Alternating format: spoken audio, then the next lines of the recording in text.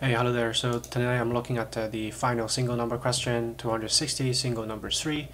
Uh, we have an array of uh, integer numbers uh, in which exactly two elements appear only once and all other elements uh, appear exactly twice. We need to find those two elements that uh, appear only once.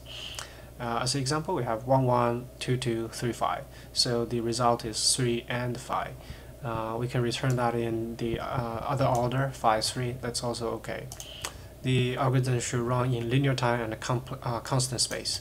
So linear time, uh, we should just do linear scan um, for limited number of times. The constant space, it's just suggesting that we should look for uh, bit manipulation solutions. So um, as with uh, single number 2 and single number 1, uh, the bit-wise operations that we should look at uh, is the exclusive OR operations because the numbers that uh, appear twice when we do the exclusive OR between those two numbers uh, you know the same occurrence uh, the two occurrence of the same number we cancel those. So if we just run that uh, accumulation um, with zero as the initial number and uh, doing the exclusive OR operators uh, what we end up with is 3 exclusive OR with 5 that's the bit difference between these two single number. So let's just uh, um, show the bit here. So 3 is uh, uh, a 2 and a 1, and the 5 is a 4 and a 1. So the difference, the bit difference is their exclusive OR, which we can easily obtain by just doing one pass with exclusive OR. Uh, that's uh, 110. What, what this is telling us is that uh, uh, only one of the number between these two has a one bit in the twos position, and only one of the number uh, between among these two between these two have a one bit in the fourth position.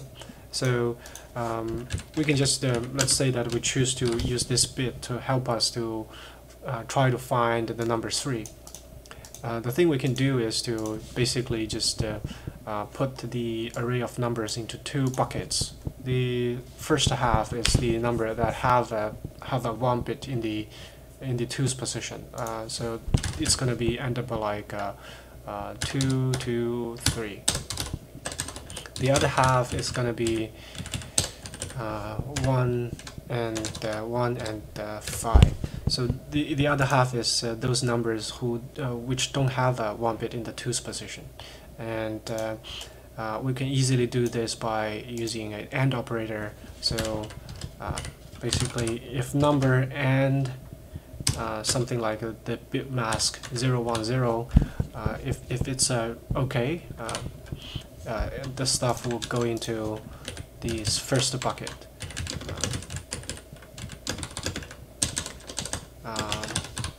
So, so if it's not zero, it will go to the first bucket. Otherwise, it will be uh, go to the second bucket. So, uh,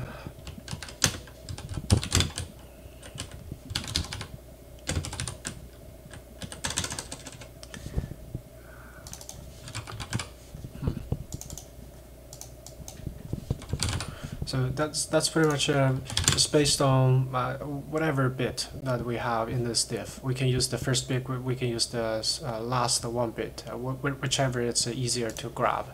Uh, so if we want to just, uh, for simplicity, we can grab the last one bit. That's by, um, we can extract that by doing an AND operator between the number and the negative of that number. That's, that's a formula to extract the very last one bit uh, or or if we don't know this formula, we just check the bit position by position and choose whatever position that uh, have a one bit in this in this diff. Uh, and based on that, we create a bit mask like this, and uh, then we can divide the filter the array into two two two halves.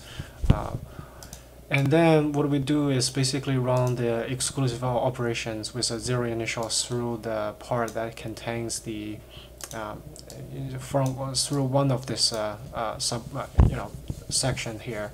Then we can effectively grab a three from from this. Uh, if we run the exclusive OR uh, with a zero initial to the other half, we can get uh, five out of it. Uh, so that's pretty much uh, the uh, code. It's going to be two pass, and actually can be simplified a little bit. Once we get x, we can do so. So if we can grab three, three and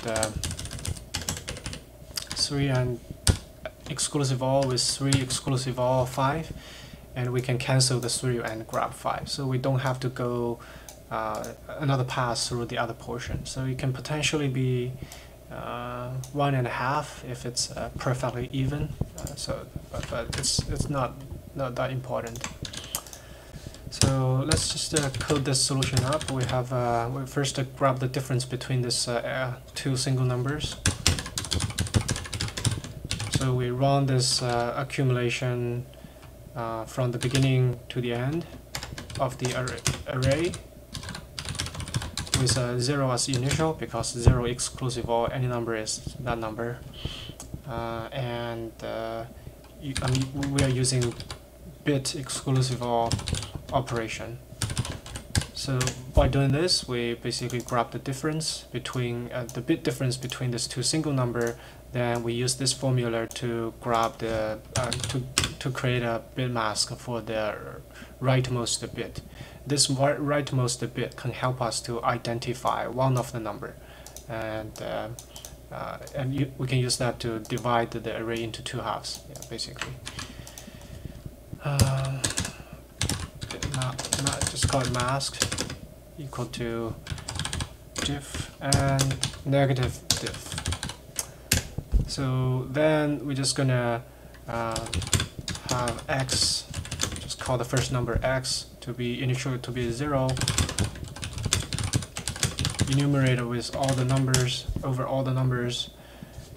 If the number um, has a one bit in the in the mask position, then we uh, accumulated that with this x. Um, you know, you know what? Um, I'm just gonna uh, pretend that I don't know this. I'm just gonna use use two accumulator to go through this because uh, I realize the divide of those into two buckets, uh, two halves, uh, should should at least be one pass. So the total is uh, fixed two pass here. One pass from beginning to end. One pass for numbers in number uh, for number in numbers. Um, so in the end, we should just return the x and y pair. So that looks okay. It's working, uh, mediocre. So yeah, so this is uh, the single number question, the last single number question. Uh, tomorrow I'm gonna try to solve some other bit uh, manipulation question. Uh, yeah, that's it.